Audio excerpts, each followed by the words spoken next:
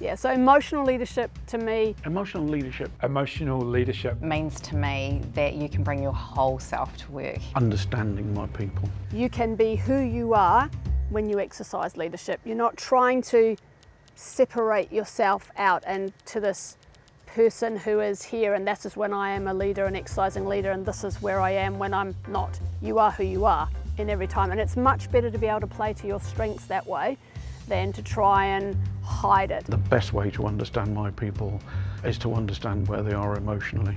Of course, you can't see emotions. What we see are the effects of emotions.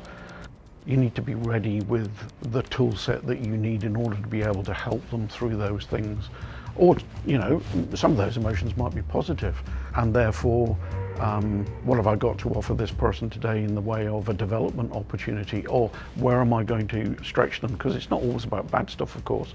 A lot of the time it is about good stuff. So to me emotional leadership is about awareness of the importance of emotions that it has for both individuals and the collective impact that that will have on our team. How do I then be use that awareness to be able to ensure that we are positively shaping the culture of our team um, with emotions being a core part of that dynamic.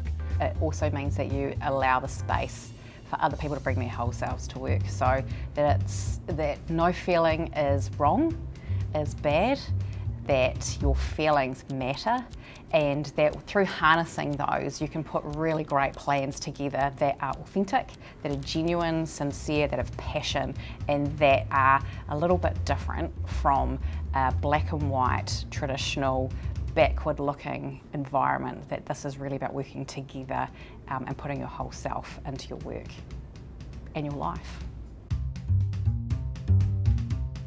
There is no one way to exercise leadership. So emotion is, is, is, I believe, is critical because then you know who, you, who you're dealing with and who you're working with and you get to build that relationship with that person based on who they are, not on who you are, but on who they are.